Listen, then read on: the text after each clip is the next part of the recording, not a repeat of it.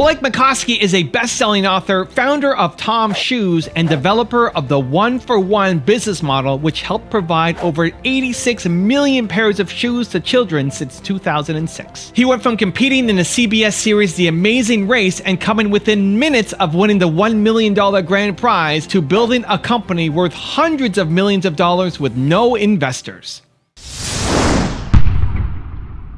Need motivation? Watch a top 10 with Believe Nation. Top 10, I got a top 10. Got my motivation high for my top 10. Gotta learn from the wise women and men.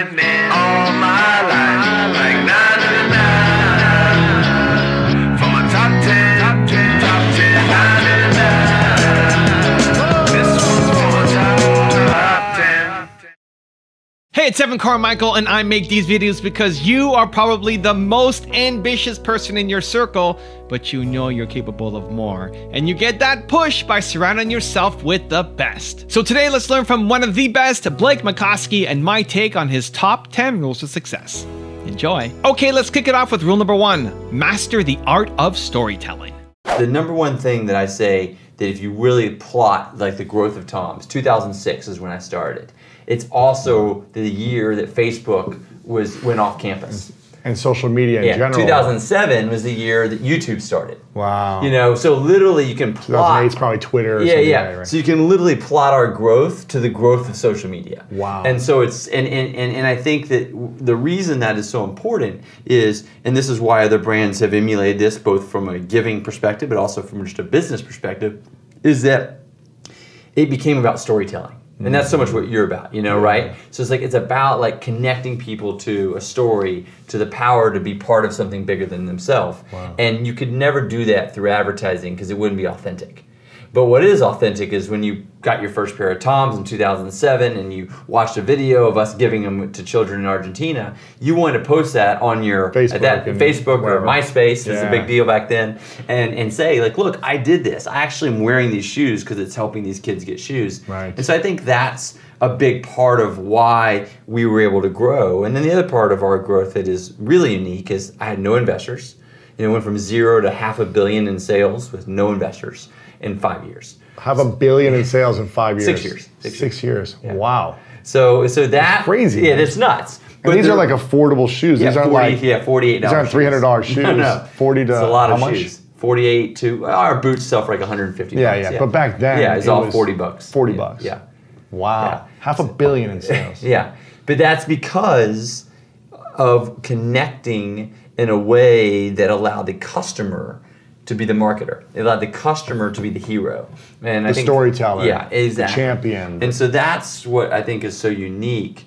Um, and then, frankly, you know, we got to half a billion in six years, and over the last six years, we haven't grown hardly because it's been hard to have that fresh story. It's been hard to have a, a, a reason for someone to get as engaged. Now, people love our shoes, and we still, you know, sell a ton of shoes every year, and the business has been real successful, and we've helped, you know, millions of kids every year get new shoes. So our mission has stayed great, but we haven't had that like astronomical growth again because so many people have emulated it that it's like okay i like your shoes but i'm not i have no need to go on to twitter or facebook or you know snapchat or whatever and tell all my friends i bought a pair of shoes. Mm-hmm. It'd actually be weird. Like it'd be weird if you were like guess what? I got tom's shoes today and they helped give a pair to a child in need. All your your followers would be like yeah like i know that started like 12 years ago Yeah, yeah. right? So unfortunately our success and the number of kids that we've helped around the world, while it's been incredibly gratifying,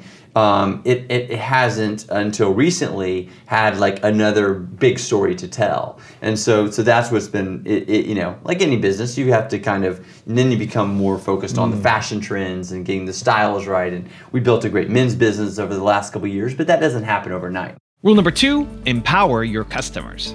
People are constantly trying to do the same make their product 10% better than the other one or they price it different. And there's Yeah. this huge lane that's open that almost nobody explores which is do good with your business. Have a cause linked to it. So forgetting the fact that you should do it because it's what a human being should do just from a business perspective uh, you are yeah. out of your mind not to be looked at as a cause business to get raving fans who root for your company true or false? Absolutely. No, absolutely. I mean, I think the thing is, is it's actually um, two two important distinctions there. It's not just doing good as a business, but actually transferring the power to your customers to get to do good. Because the, the customer really wants to do good, but oftentimes they're financially constrained, they're time constrained. So if you make it easy for them to experience the you know eh, you know the the oxytocin high of doing good in the world through a purchase of your product they will be loyal fans forever.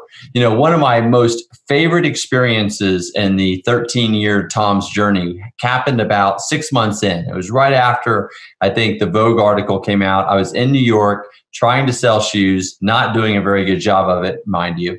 And I went to fly back to LA a little bit with my, you know, tail between my legs. And I had just gone for a run in Central Park and I was rushing to the airport and I did not have Toms on, which was very unique because I always wear Toms, especially in the early days. And I get to the American Airlines check in counter and I'm getting ready to do the electronic kiosk to get my boarding pass. And I look over and there's a girl, like mid 30s, standing there wearing a red pair of Toms. Now, this was super exciting because this is the very first time I saw a stranger wearing our shoes. It wasn't an intern, it wasn't my parents, it wasn't my neighbor, it was a stranger, you know, 4,000 miles from my home. So I had to ask her about him, but I didn't want to let her know who I was.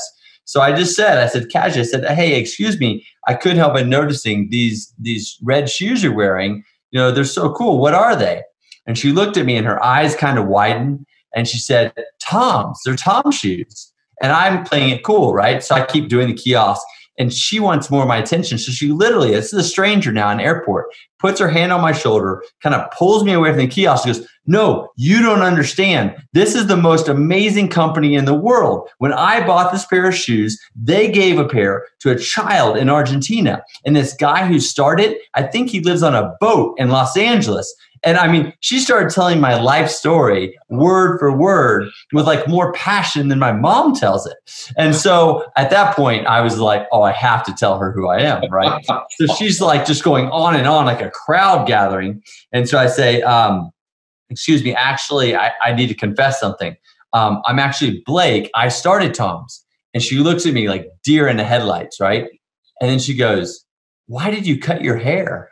Because she had watched all these YouTube videos of me giving out the shoes in Argentina. I had this long, crazy, curly yeah. hair, but that summer I had cut it. And that was her one question. But I learned one of the most important business lessons of my life in that exchange. And that is if you do good, if you really empower your customers to feel like they're part of something, they will do the marketing for you. And that's way more cost effective than any paid advertising you can do. And I think that's why Tom's grew so fast and we made so much money. Rule number three think differently. There's this great, there's this, this uh, I forget uh, who he was, but this you know famous king, and he wanted um, to uh, only walk. He wanted his feet to only touch the most softest leather whenever they wherever he walked. And all of his people, they were thinking about spending basically all the fortune of the kingdom and and and not spreading any of the wealth to the people who need it the most, and like hoarding all the wealth so they could pave all the streets in leather. And and I forget who recommended this, but instead, just with like absolute, you know, perfect clarity, said, instead, why don't we just strap two pieces of leather to your feet, and you will always walk in leather. Right. and so that's, I think the quote is, you know, from the Buddha or from, you know, I forget, but it's it's it's such a great point. Is that you know just by thinking things a little bit differently, um, you can you can totally change your perspective. Rule number four: take action. Many ideas that people have are never actually acted on. When you first came up with the idea for Tom's, was this a, a, a big serendipitous moment for you? What was it like? You know, it's, it's funny. I, I, get that question a lot, and you know, people say, "Did you did your life change when you thought of Tom's or when you had the idea?" And is kind of romantic or noble as it would be to say yes. The truth is no. You know, it was just an idea. I mean, I was running my other business at the time, and I had this idea: if I sell a pair of shoes, I can give a pair away, and and and it was just an idea. But when it became much more than an idea, and when my life really did change, was when I went on that first shoe drop. You know, I took my parents who had never left the United States before. I took my brother and sister. I took, you know, my intern Jonathan, some of my friends, and we went down there, 16 people who really didn't know each other very well. And we just got on our hands and knees and started putting shoes on kids' feet. And we didn't know what we were doing. I mean, you know, we, we had the shoes made and we knew where the areas that kids needed them. But it was an unbelievable experience to see that just six months before that, it was just an idea. And this idea had, had got, got the attention of enough people to buy 10,000 pairs of shoes so that they, we were allowed to go there and give them away. And I'll never forget this one moment because it really was uh, life changing for me. We were leaving a village and I was walking away and this woman came up and she was crying and she was running after me and she was speaking in Spanish and my Spanish isn't very good. So I went and got my partner Alejo and he's Argentine. And I said, Alejo, ask her this woman what's wrong. And she had these three boys with her and they all had brand new Tom shoes on. And he said, you know, in Spanish to her. And when she responded, she started to smile. And he was smiling as he was listening to her. So before he even told me the translation, I knew she wasn't crying because she was sad. She was crying because she was happy. But what, what she told Alejo and what he told me just blew me away. She explained that her three sons had been sharing a single pair of shoes for the past year. And what that meant was her oldest son would go to school on Monday. He would come home, give his shoes to his brother, and have to wait until Thursday to go to school again. Wow. I mean, can you imagine? Like, I don't have kids, but I'm sure a lot of people in this room do. I mean, can you imagine if that was the case with your family, that your children had to wait a couple days to go to school because of a pair of shoes? And I had no idea, even when we started Tom, said it was that much needed. But when that lady told Alejo and he told me, and we got very emotional and started crying, I mm. mean, it was like this really amazing moment. But that's when I knew that, like, this is what I wanted to do with my life. Also, if you want to have unstoppable confidence, self love, and motivation, check out my 254 series. They're free. The links to join are in the description below. It's so unfortunate because I think doubt is one of the greatest enemies of our lives. And it's so easy to overcome, but most people won't practice the discipline of overcoming it. I've been at a point in my life where I thought I thought less of me than anyone thought of me. How many have been there? The goal isn't to be the best every day. The goal isn't to, out, to outdo your competition every day. Rule number five connect wants and needs. Everyone is kind of doing this. You buy one and we give one model, right? yeah. What was your original inspiration for for doing that? And did you think it would actually last 12 years and grow, or was it like maybe we'll make it past a few years and then give, yeah, give I away mean, a bunch of shoes? I I mean, literally, we we was, it wasn't even a business when we launched it. We called it a, the Thomas Project. Mm-hmm. It wasn't, you know. Um, and what's so interesting is that there's been so many people that have emulated this one for one model, but we didn't really think about like we were creating a model. We just wanted to keep track of it. Like it's the easiest way to keep track of this because you know I was traveling in South America, specifically Argentina. Um, I saw all these kids in the streets, you know, street kids, you know, kind of sniffing glue and kind Mm-hmm. of, you know, really going through tough times, and none of them had shoes on. And I asked this woman um, one day, I was like, you know, why are these kids not in school? And she said, well, one of the reasons they're not in school is they have to have a school uniform to go to school, and part of that uniform is a pair of shoes, a black pair of shoes actually, and they can't afford it. And so if their families can't afford the uniform and the shoes, then that they don't go to school, go to school, and then they get get education, into, then they they get in into all kinds of bad stuff. And Yeah. so, um, you know, w- when I think back to that moment, you know, the idea I had was so simple. Like I basically went and volunteered with this organization for the day who had gone and gotten donated shoes. Mm-hmm. So they went to wealthy families in Buenos Aires, collected these like slightly used, they weren't even new shoes, but mm-hmm. used shoes. They took them to the kids before the school year and that was their donation. And I went and volunteered and donated shoes and got the joy of seeing kids get shoes. And that night I came home and I was talking to my buddy um, who was a polo teacher of all, all mm. things. His name's Alejo. And I said, Alejo, I said, this is what I did today. It was amazing. Like I felt so good. Like I felt like so full of spirit, you know? Mm-hmm. And he said, yeah, but what's going to happen when they need their next pair of shoes? Mm. And it was like, I went from like a 10 to like a five. And I was like, oh, like, I don't know. And like, maybe we didn't actually do something good today. Maybe we just like prolonged a future mm. problem. And that's when I had the idea is like, you know, I've, I've never been in charity, I've never been in philanthropy, but I'm an entrepreneur. I've started a few businesses. And what if you could start a business where every time you sold a pair of shoes, you would give a pair away? And in that way, it's really easy for the customer to understand. It's really easy to keep track of. It's not like, oh, 5% or 10% or 30% of your mm-hmm. sales go to this nonprofit and then how much actually gets to the kids. It was like, okay, like you buy a pair, we give a pair. That simple. We'll call it one for one. and that was it. And it was just like, you know, I mean, at the time, I mean, I was kind of running another company, an mm-hmm. online education company that I started. This was like a side project. Right. We didn't have like a business plan. We didn't even have a checking account. Like it was like, oh, let's just do this. And truthfully, at the at the time, I mean, I was a single guy, like 29 years old, loved Argentina, loved Yeah. going down I there. love Argentina. Right. And so I thought, fun. like, okay, this is cool. Once a year, right before school, I'll go down there. I'll give a couple hundred kids shoes, and then I'll come back at Christmas, give them all shoes, make it sustainable, Yeah. and it would be like my cool little project. Like that was the idea. Yeah, yeah. And now we've given 88 million children a pair of shoes. Wow, man. That's So, amazing. 88 million, and, and it's it's been amazing. And, and I think you know the fact Wow. that there's been so many other companies take this one for one and actually call it a model now and, and emulate it has been one of the things that I think I and people at Tom's are most proud of. Like it's amazing that when we read about companies that are helping people with eyeglasses, like what Yeah. Warby Parker's Yeah. done, or you look at other companies that have done it in everything from diapers to you know mattresses. I mean, it's like there's actually a really interesting way of offering a product to someone that they want to buy and at the same time help someone who has a need that would never be able to afford it.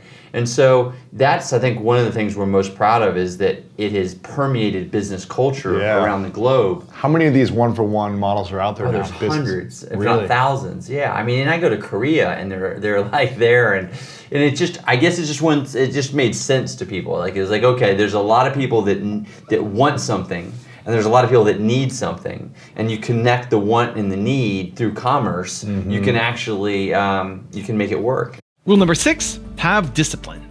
I was a, a very driven, competitive tennis player growing up. Yeah, I started playing at age 10. By age 15, I was one of the best players in the state and the country. I lived at a tennis academy. I moved away from my family to train, so I would only go to school for part time during the day. I went to college on tennis scholarship. And then my sophomore year, I had a really bad injury to my Achilles tendon, and I was in crutches and a full leg cast. And that is when I actually had my first entrepreneurial idea. The funny thing is, I didn't even know what the word entrepreneur meant. My dad was a doctor, my grandfather's a doctor. There were no entrepreneurs, you know, at that time really in my family.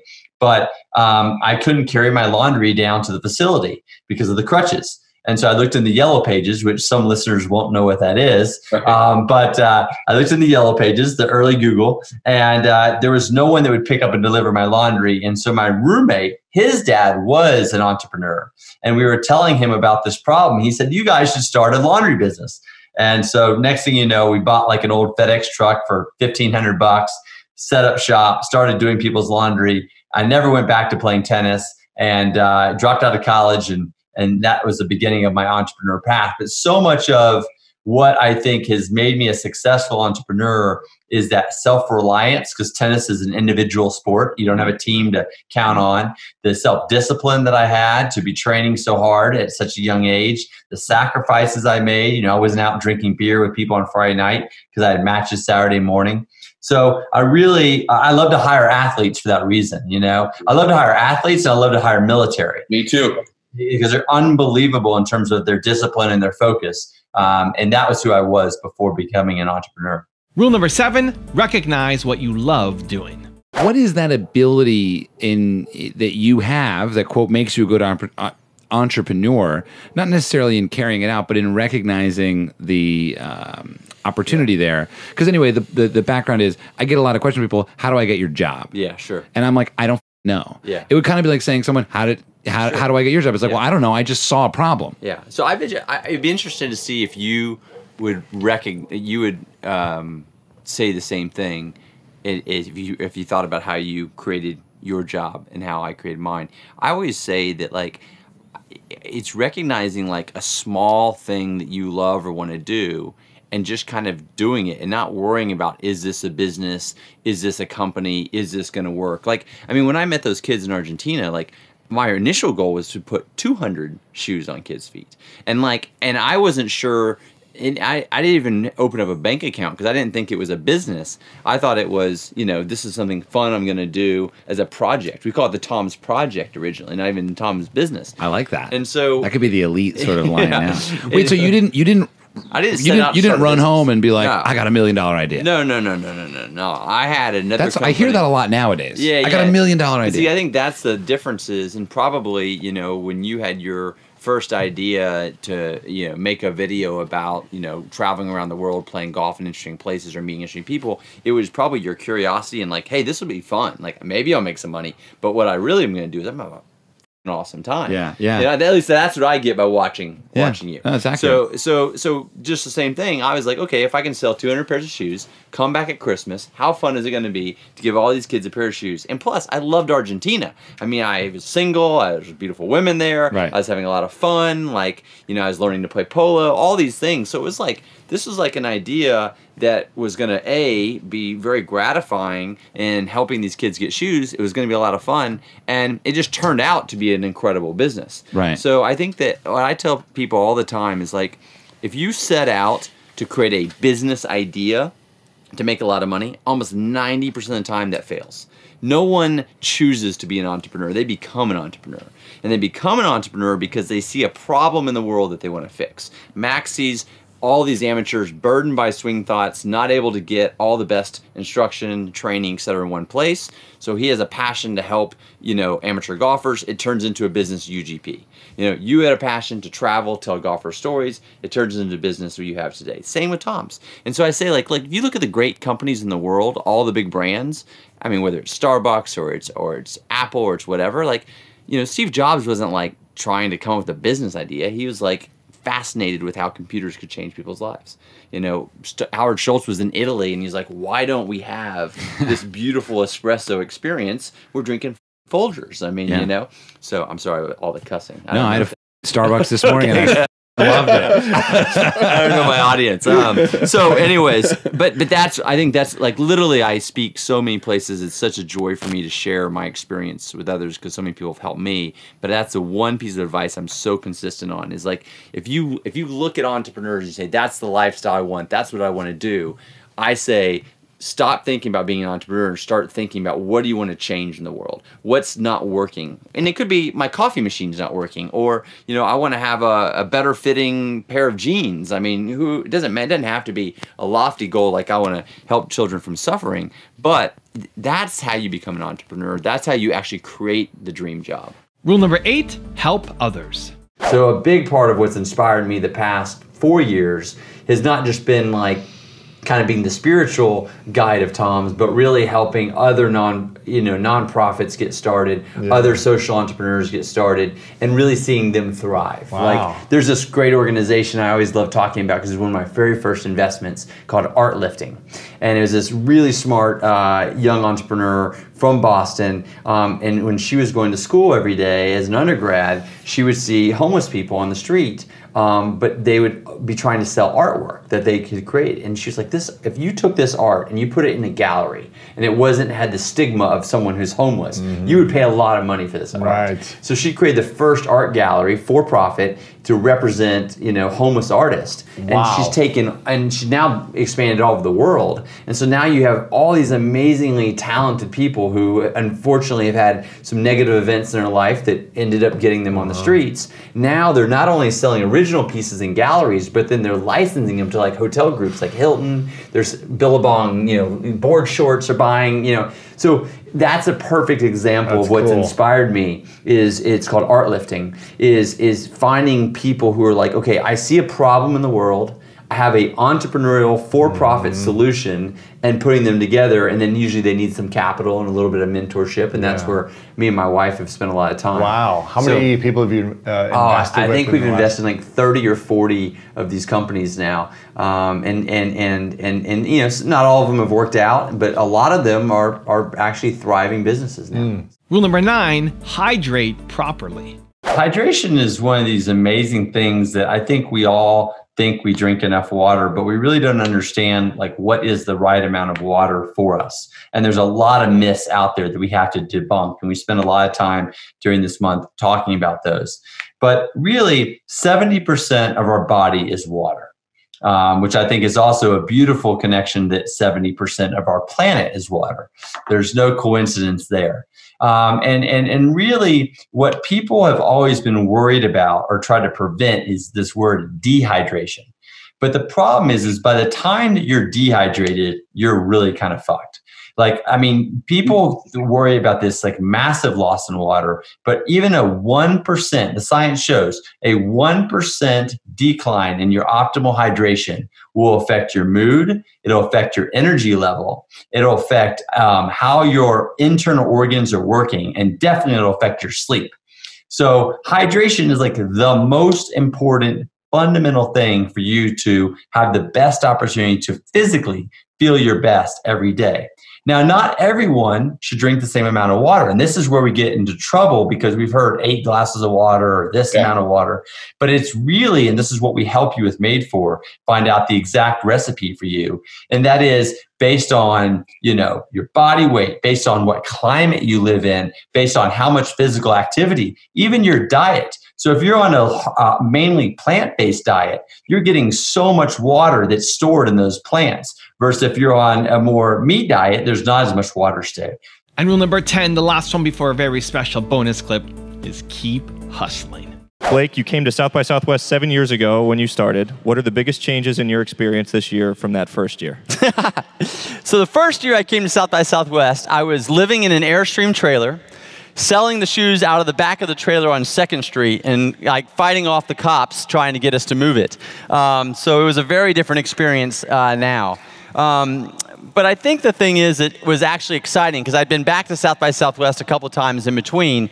Is when I was flying in on the plane, I was thinking about like, I had the same kind of hope and hustle right now that I did seven years ago because of getting in a totally new business. You know, one of the great things uh, about you know my job is that we get to continue to innovate and have new ideas. And even though you know, Tom's as a brand has grown and we have a lot of different processes and systems and all these things you have to do as a, as a larger business, we still get to, you know, take risk and be entrepreneurial.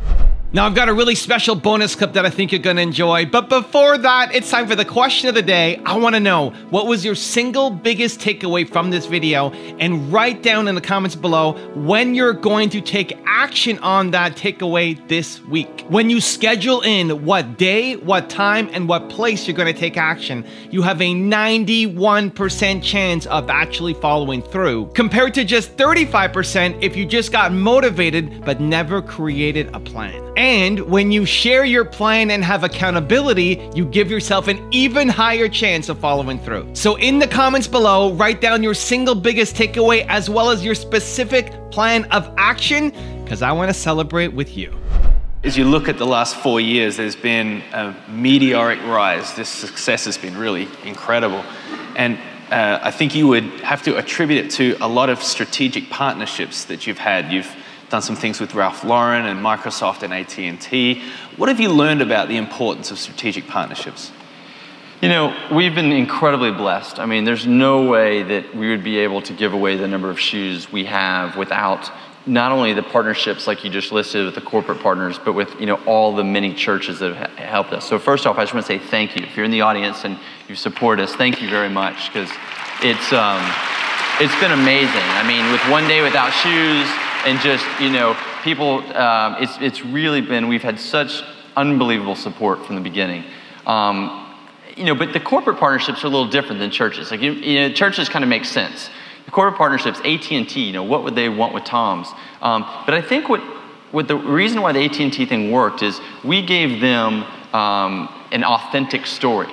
You know, I'm never in the office. I use my BlackBerry or iPhone nonstop, you know, when I'm traveling all over the world. I mean, I might be speaking at a university in Ohio or in Ethiopia doing a shoe drop, but I'm very rarely in the office. And so for me to help run this business, I have to stay connected. And someone from AT&T, a very smart person, realized that that was a great story because that was how their technology really was helping the world and helping more kids get shoes. And so when they contacted us, I immediately said yes because it was so authentic. And I think that's why it resonated with people so much is it was authentic. So we gave them kind of an authentic testimony, if you will, of how their technology was helping kids get shoes. And in return, we got incredible reach. I mean, how many people here, I'm just curious, saw the AT&T commercial? Raise your hand. I mean, it's like 75% of the people, you know, and, and that's, and that's, and we didn't pay a penny for that. So it's unbelievable. So the strategic partnership's been a huge part of how we've grown, and we, everyone at Tom's is, is incredibly thankful.